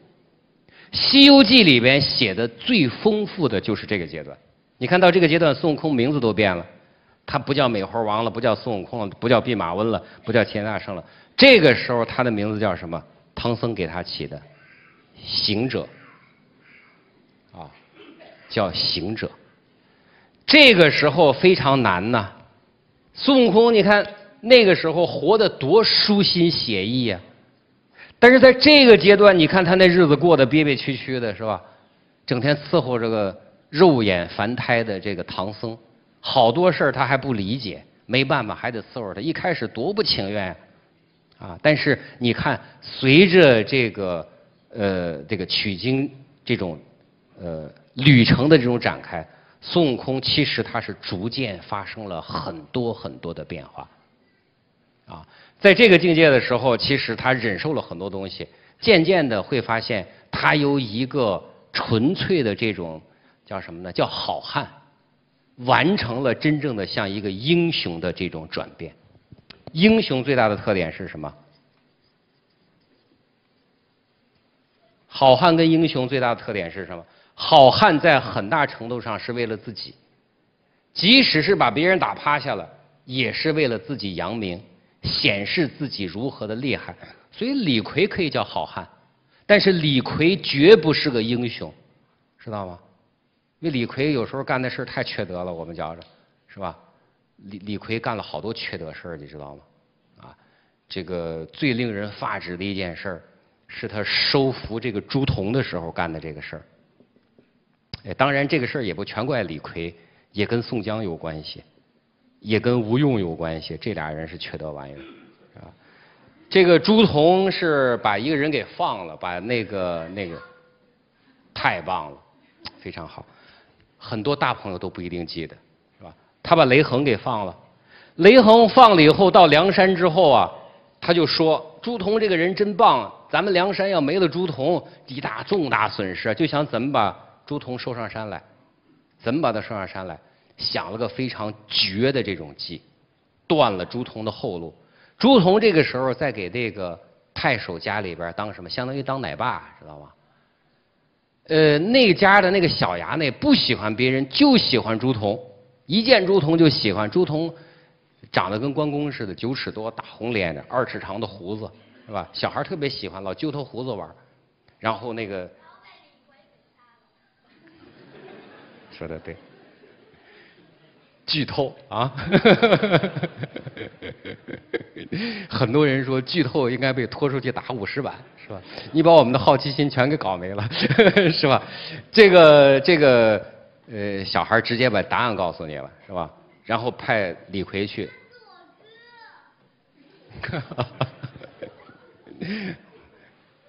嗯，小朋友，你能不能不说话？好。这个怎么？然后朱仝就去看护他，啊！但是有一天看着看着，忽然发现小孩背上一青，被人摘走了，就追，紧追那个前面那个人，就紧跑，慢追就慢跑。后来到了一处松林之处的时候，那个人停住了，肩上小孩不见了。那朱仝一阵心里发慌，再一看的时候，小孩已经被在松林里边被杀在地上，脑袋被劈成两半。满地流的都是脑浆子，啊！李逵这人就干这种事儿，在哪儿？李逵，啊，李逵在这儿，啊，李逵就干这种事情，啊，呃，李逵还有一次去到那个这个这个村子，到一个村子里边，这个村子这个家里边正在闹鬼，每天家里边就好像是闹鬼，派了多少法师来都没用。李逵说：“我去。”结果吃饱喝足进去以后，发现不是在闹鬼，是怎么回事？你知道吗？你不知道是吧？好，原因是什么？原因是那家的女儿正在谈恋爱，啊，把那个门啊、窗户全都气死，只留小孔，让家里边往里送东西，食量特别大，因为还有个小伙子在吃嘛。派来什么和尚法师，小伙子身强力壮，都把和尚法师打跑了。这回李逵来了，一看李逵那样，大概那个小伙子很害怕，觉得自己打不过，钻在床底下瑟瑟发抖。完见那姑娘，到底怎么回事？这姑娘说了：“哎呀，这个实际上我在谈恋爱，是吧？然后叫底下那是我的奸夫王小三儿，啊，小三儿你出来吧，是吧？小三儿出来。李逵怎么干的？李逵把这个男孩女孩当时就杀了，啊，杀了之后还不算，吃饱了吗？吃饱喝足以后，这这个没法消食我们吃完饭以后常常出去饭后百步走，李逵的饭后消食的方式不是百步走。身上这有劲儿没处使怎么办？正好看见两个人死尸在那，把那尸体抬到案板子上，解开斧子，咔嚓咔嚓咔嚓，把它剁成馅儿。哎呀，这身体松快多了，是吧？李逵这种人啊，所以李逵，你说他是个好汉还可以，李逵绝不是英雄。啊，什么人是英雄？《水浒》里面也有，比如说像武松是英雄，比如说呃林冲也算不上英雄。林冲其实里边相当窝囊的一个人。有空我再跟你们讲林冲是吧？那个鲁智深是英雄，鲁智深心里边那真是说只有别人没有他自己。鲁智深本来当都头，这个不是当都头，当提辖当的挺好的，当的风生水起。为了救一个不相干的女人金翠莲，最后弄得这个提辖当不成。当和尚吧，这个鲁智深后来这是金子到哪都发光。鲁智深当和尚当的风生水起，是吧？一一下他把那几个泼皮无赖全都降服了嘛。本来想害他的一个人抱大抱左腿一抱右腿，一下把他颠到那个粪坑里边去。鲁智深左脚一脚，右脚一脚，把张三李四全踢到粪坑里面去了。那个粪坑那个非常大，你想几千人的和尚，那粪坑得多大？那就是个游泳池。那俩人在里边又不敢上岸，在里边游浮水，顶着那什么的蛆什么之类的。然后鲁智深哈哈大笑：“这俩阿杂婆皮，你们起来，是吧？”上来以后换衣服，把盘的蛆什么都都都摘掉。到底怎么回事？几人就说：“哎呀，没想到您这么厉害。”后来鲁智深就跟他们在一块每天这些泼皮无赖跑到这个地方来听他吹牛，听他白白活，那对鲁智深扁扁的服。鲁智深当和尚当的风生水起。但是为什么和尚又当不下去了？为了林冲的娘子，和尚也当不下去了。林冲娘子受人调戏，林冲都再三的隐忍，但是鲁智深啊替他这个什么？最后林冲跑出去了以后发配，又因为救这个林冲暴露了自己，当和尚都当不成。啊，鲁智深是这样一个人啊，脑子里边只有别人，没有他自己啊，这是道德境界。英雄好汉最大的特点就是有利他的精神，为了普通的百姓，是吧？可以自己付出很多的牺牲，冒很多的风险，有本事仅仅是个好汉，但是能够利他，替百姓分担忧愁，解决他们的麻烦，而且没有什么希望得到回报的，这才是真正的英雄。孙悟空，其实你在一路上你会看到。孙悟空越到后来，英雄色彩越明显。原先的时候，往往都是为了避免妖怪害自己；到后来以后，你会发现很多事情的时候，他做这些事情，已经不是说这些妖怪触犯到他自己了。比如说，通天河为什么要解救这个陈家的那个一秤金和陈官宝？这个通天河怪其实本来都不知道孙悟空他们来了，是孙悟空、唐僧看到。这妖怪每年要在这个地方要一对童男童女，心里觉得这个东西不行，于是自己变做童男的样子，让八戒变成童女的样子，去让那个灵感大王吃。结果灵感大王当然没有吃了他，是吧？然后就是一系列的争斗，除掉这个妖怪，最后是被观音给解救走了，是吧？他做后来越到后来做的很多事情。不是为了自己小取经团体顺利的过去，而是沿路看到百姓受到危难，然后真是按《水浒》里面说的“路见不平，打拔刀相助，解脱这些人于水深火热之中，啊，所以越到后来，孙悟空身上体现那种利他精神越明显。当然，这个阶段是最难最难的。我们其实人生也还是这样，人生有的时候你做一些这样功利的事情，凭着自己的本能指引，是吧？你就可以做。当然，向这个道德境界转化的时候，其实你就面临着很多困难，包括别人的不理解，包括对这件事情你也需要得到重大的牺牲，啊，有的时候你要为自己挣扎着向前就行，但真正的到道德境界，你去帮助别人的时候，别人未见得领你的情，是吧？有的时候还说一些怪话，然后还因为他不理解，为了让自己内心获得一种安宁。他要贬低那些他并不理解的，或者他直觉就认为比自己高的东西，这样才能获得心理的平衡，是吧？到这个境界的时候，面临的很多事情是这样的。最委屈的阶段是这个阶段，啊，后来孙悟空终于过这个阶段。孙悟空什么时候到就到达天地境界了呢？到灵山的时候就接近天地境界了。其实越往那个什么后面走。越往后面走，其实越就是说这个这个接近这个境界。其实从六耳猕猴这个事件以后，孙悟空已经就发生了非常大的变化。六耳猕猴，大家很多人觉得仅仅仅就是一个六个耳朵的猴子，实际上不是。六耳猕猴在《西游记》里边说的非常清楚，当他和这个呃悟。当他和六耳猕猴争执的时候，来到佛祖面前的时候，佛祖说了一个特别好的话。他对底下那些辟支佛啦、对个菩萨啦、对那些罗汉啦，然后说了一句话，叫“汝等皆是一心，且看二心竞斗而来”。说你们都只有一个心，现在我就告诉你，那个有两个心的来了。二心是什么意思？我们现在都知道，二心常常就是那个不太好的。除了正心之外的那个东西，是吧？二心，我们其实很多人的时候，在很多时候，很多人在很多时候会面临二心之争。比如说路上看着，比如说地上掉了，比如说有这个，呃，钱少点吧，不太那个什么有吸引力。咱们说多点吧，比如说地上有五块钱，啊，五五块钱挺多的，一分钱你可能不捡，五块钱你捡不捡？我再说多点儿，呃，七块行不行？啊，啊，好吧，大家口气都比我大，是吧？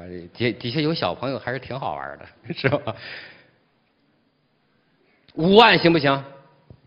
五万块钱一沓子钱，就是五摞钱扔在地上，塑料袋包，你一看那就是五万块钱，啊，真的啊，五万块钱，或者地上掉一大块金子，是吧？这样的，你拿到这个钱之后。任何人的心里边其实都会有这样的想法。第一个，我要自己要了。这五万块钱其实干不少事儿啊，对吧？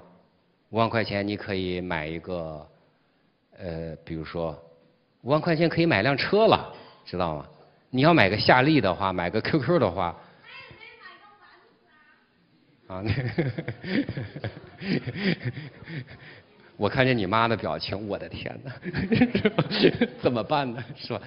这个五万块钱可以干很多事，但是我们其实很多人都会想，这个如果丢钱的人会多着急。我这个钱是该还给他，还是自己拿着？我想每个人都会有这样的两颗心的正经。但到最后的时候，有些人不一样，有些人就是说这个钱，哎呀，买点好的。很多人就这样了。也有的人最后会把它交给警察叔叔，啊，像我的话交给就交给警察弟弟了，是吧？他肯定比我小了，是吧？警察孙子，警察孩子，他肯定一般警察现在二十来岁都比我小，是吧？孩子，这是我捡的钱，我一般会这样说了。还有是想方设法联系失主。我们很多时候都会面临这二心的竞争，啊，比如说你一个三四十岁正常的男子，是吧？你已经结婚有孩子，这个时候。一个年轻的、非常漂亮的美女吸引你，哎呀，我就喜欢你，我就什么你？难道你内心深处没有一点波澜吗？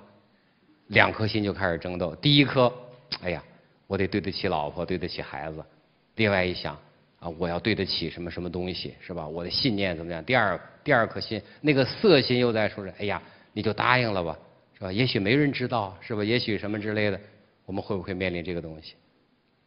当领导的下面送了一大笔钱，是吧？这笔钱很多呀，七百多呢，是吧？啊，七百多就不值当的了，是吧？七百万好不好？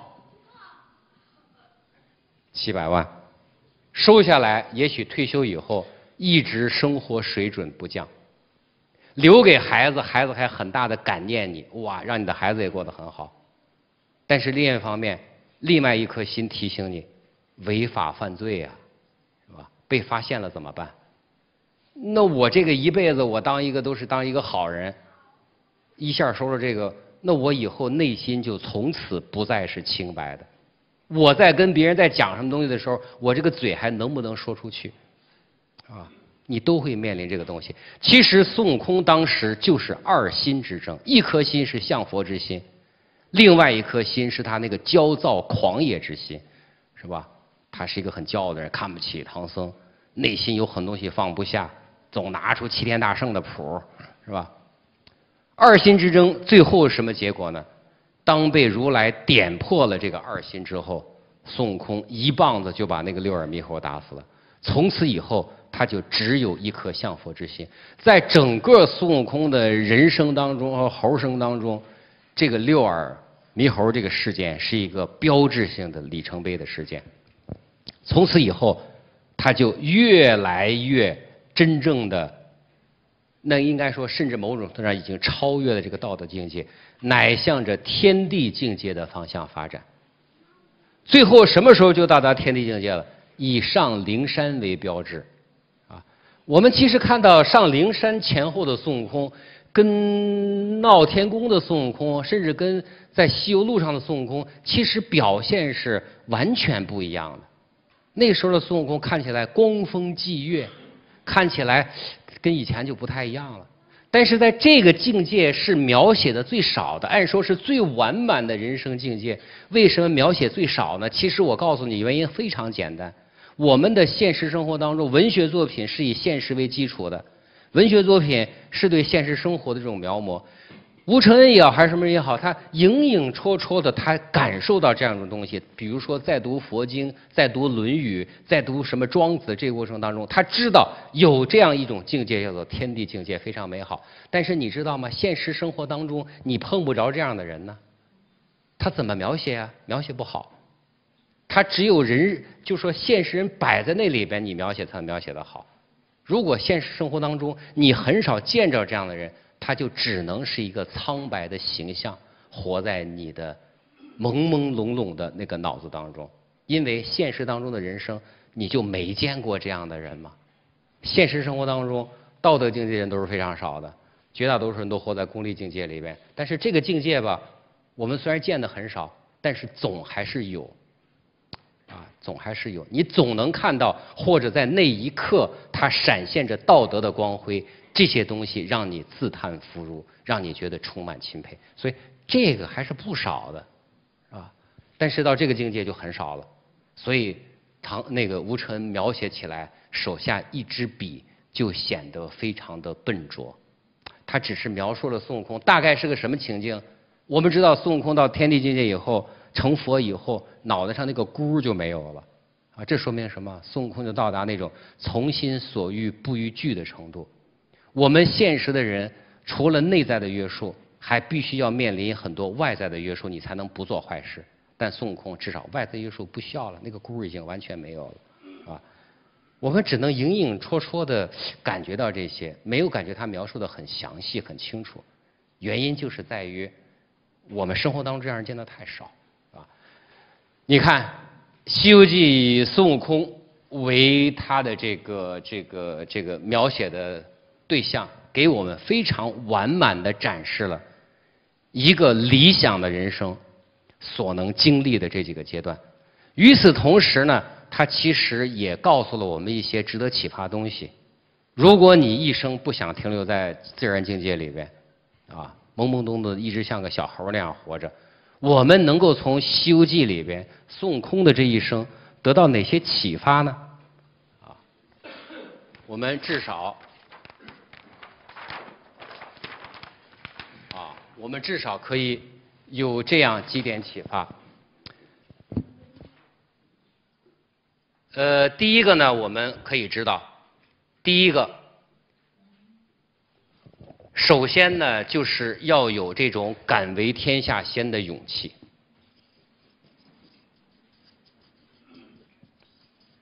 这一点我觉得是特别重要。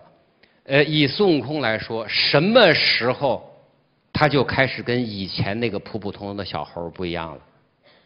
就是从那个水帘洞，啊，那纵身一跃。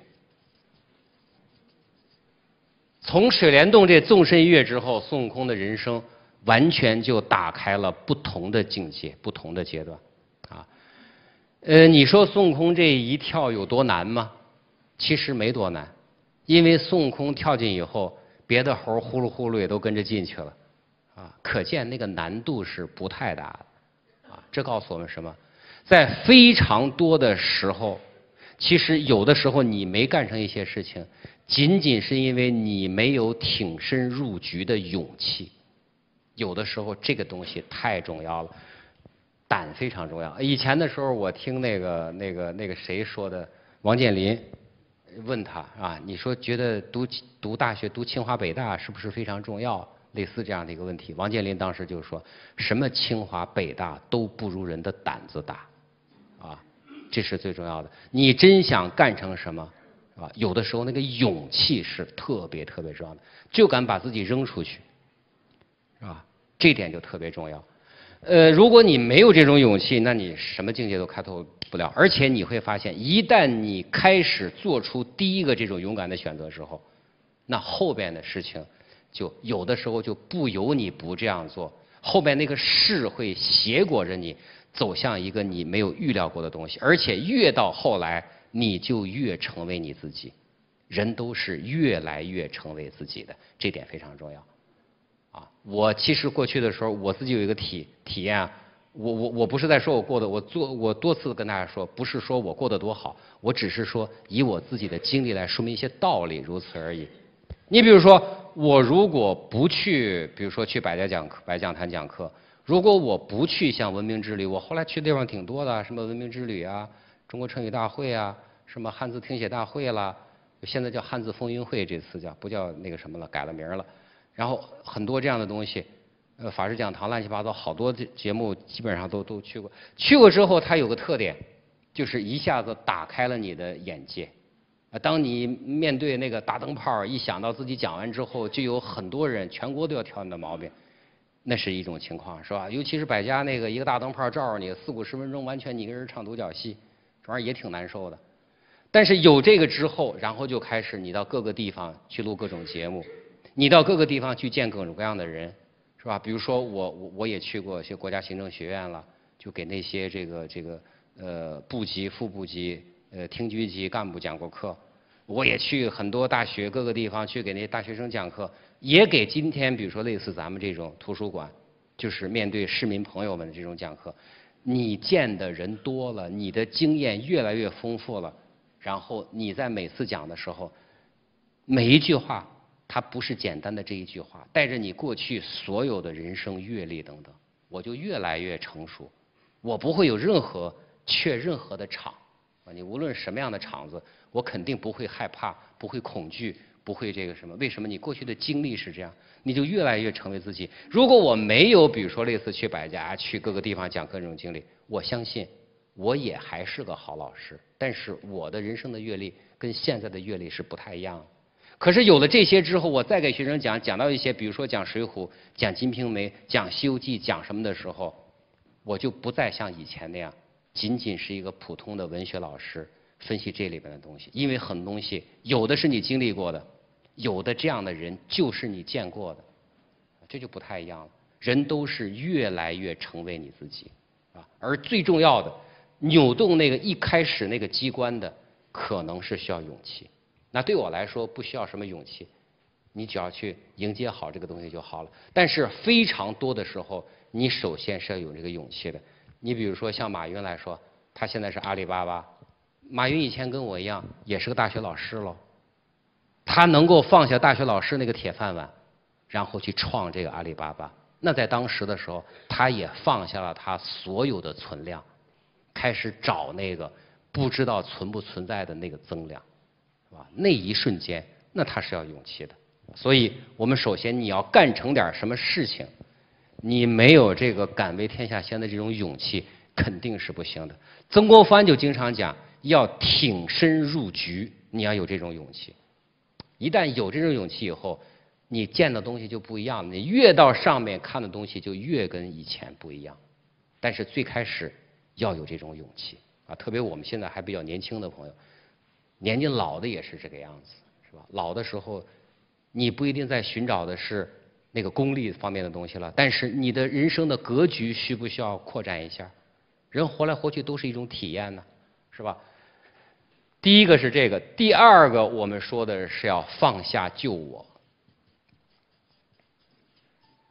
有的时候你需要有这种气度。假如前面是一种勇气的话，后面更重要的是一种气度。呃，这个社会有一个最大的特点，我们现在看这个特点看得越来越明显了。现在这个社会变得非常快，叫做不连续性。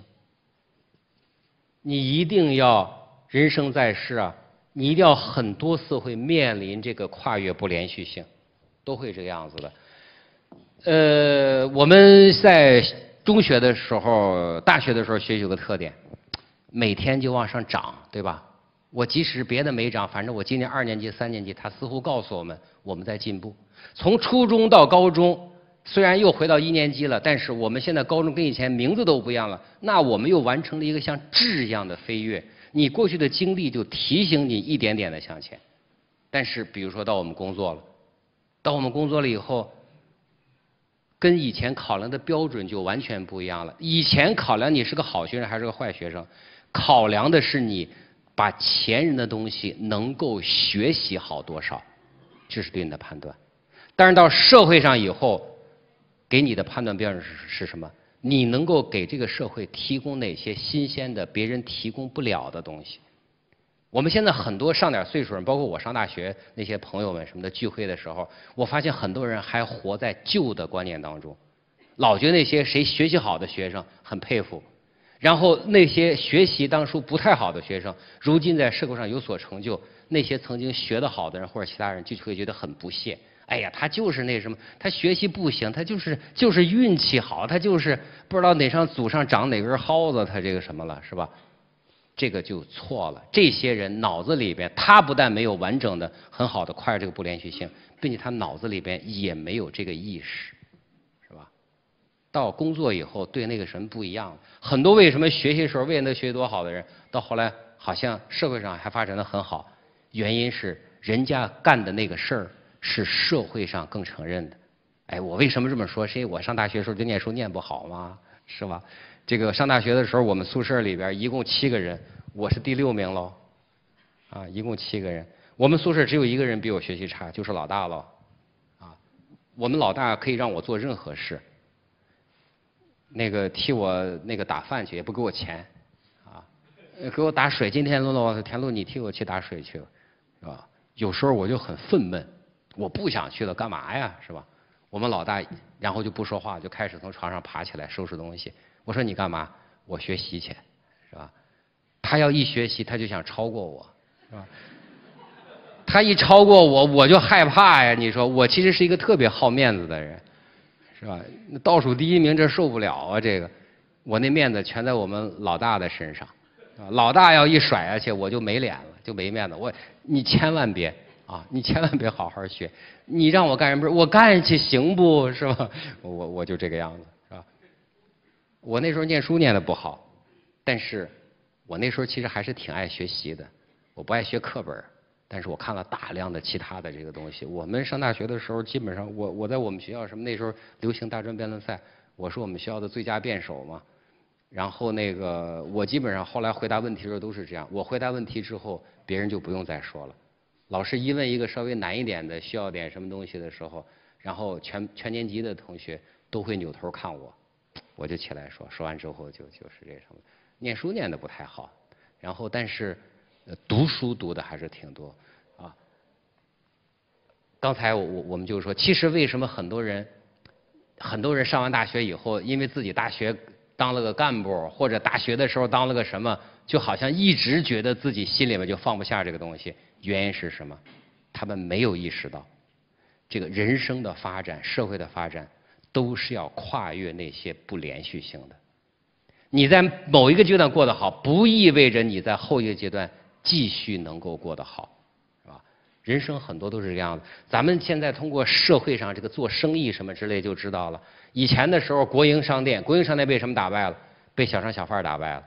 小商小贩被什么打败了？小商小贩被大一点的商场打败了。商场被什么打败？商场被超市打败了。超市为什么被什么打败了？超市被现在的网络打败了。网络将来被会被什么打败？不知道，也许是新购物、新什么。马云他们最发愁的就是这个，什么时候睡不好觉？为什么？担心不一定什么时候突变就会发生，那个优势、那个巨大的存量就不在了。所以他说每天睡不好觉是有道理的，啊，所以就是你要跨越这种不连续性，需要什么？需要的是放下救我的这种气度。你看孙悟空就是，当猴王当的挺好吧，但是他发现最后的结果是什么？肯定会死啊！这时候怎么办？他听说海外有仙与佛与道能够长生不老，勇敢的放下了这个东西，踏上了茫茫的寻仙访道之路，啊，这就是能够把过去所有的存量都放下，去面对一个未知的这种、这种、这个、这个、这个、这个未来的这个量，是吧？所以有的时候这个放下救我的这种气度就特别重要，放不下救我的。嗯，老是活在自己那个当中，老端着，老什么，那个肯定就不行。